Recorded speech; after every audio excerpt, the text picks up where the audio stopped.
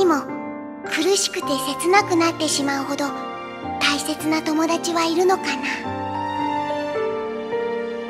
生まれて7日間ロクサスという名前と13という番号だけが自分の全てだった。記憶のない少年ロクサスはもう忘れないように目覚めてからの時を数え友達のアクセルとの任務の日々を過ごしていた。俺が機関に入ってから今日で255日目なんだ日数なんか記憶してたのか？そしてロクサスと同じように記憶を持たない謎の少女シオンが14番目の仲間として機関に招かれる。キーブレードに選ばれし者。心を持たない抜け殻のはずのノーバディロクサスアクセルシオンの3人の間には互いを大切に思う感情が芽生えていたんだ。アクセルも私の友達なの？シオンがロクサスの友達ならシオンは俺の友達だ。そんなかけがえのない日々は突然崩れていく。もう一度お願い。我々はそれほど暇なわけではないやはりお前が失敗作だったというだけのことだ。シオンに隠された秘密。私は存在してはならないの。それはお前が人形だからか。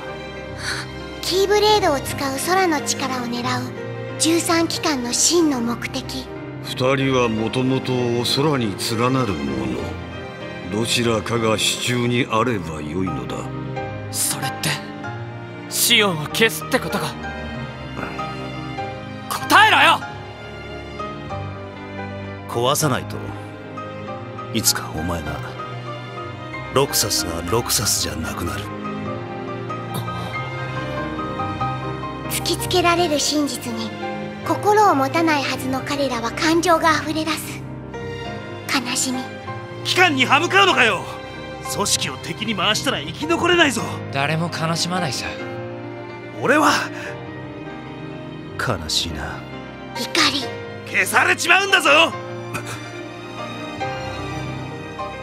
手加減はなしだよ。アクセル。ふざけんな！てめえ。なめてんじゃねえぞ！俺は決めた。お前らが何度逃げようが俺は何度だって連れて帰ってやる。決意私はこれからロクサス自身も取り込まなきゃいけないの。それが私の生まれた意味。そして願い。また会おうね。私ロクサスに。ううん。ロクサスとアクセルに会えてよかった。二人は親友だもの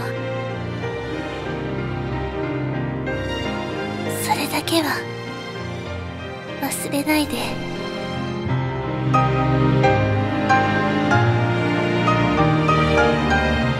君も信じてるでしょまた3人が笑い合える日が来る。